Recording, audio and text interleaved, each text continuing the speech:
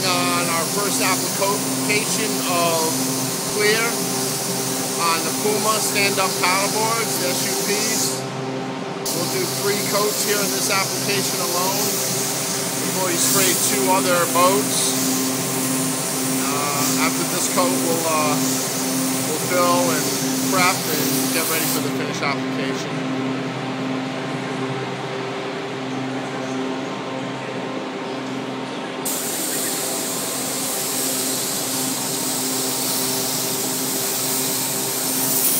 Good.